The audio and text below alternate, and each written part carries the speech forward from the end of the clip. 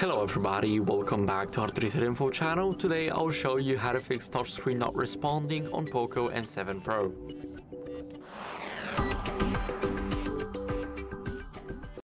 So first, if your touchscreen is not responding, then what you guys can try and do is to restart the device. So force restart it by holding the power button and the volume up button at the same time for about 10 to 15 seconds. So keep on holding until you see the screen go black and after you feel the vibration you can let go of it. And now all we have to do is wait for our phone to turn back on. So I'll see you guys then.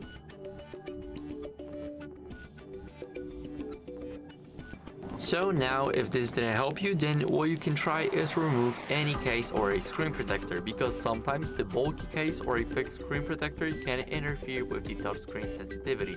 So try removing them and see if the screen responds any better. If not, then go over to the settings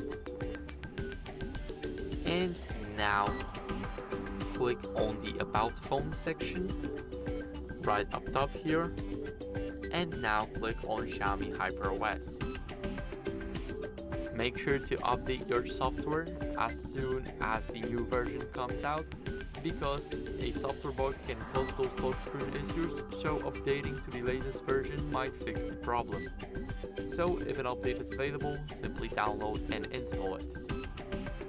Now, if this didn't help you, then what you can try is cleaning the screen. So any dirt, moisture, oils on the screen or debris can affect touch sensitivity. So use a microfiber cloth to gently clean the screen and make sure that there's no residue blocking the touch screen. So as you guys can see, let me give it two swipes and now put it back.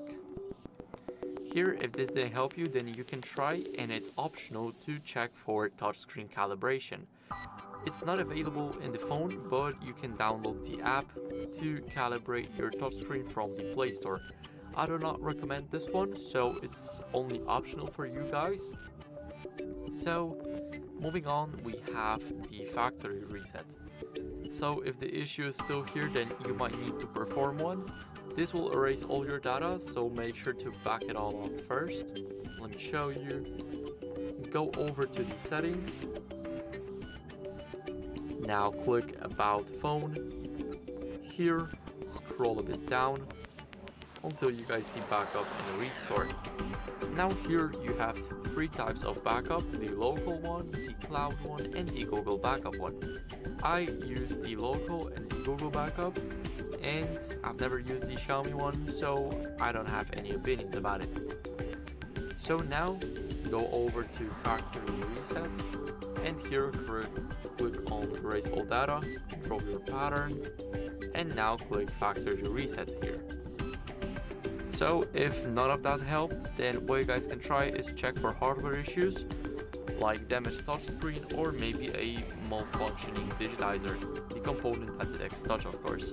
So in that case, it's best to contact Poco Support or visit the authorized service center for more professional diagnostics and repairs and that would be it. So thank you guys for watching, make sure to leave a like, subscribe, and see you next time. Bye.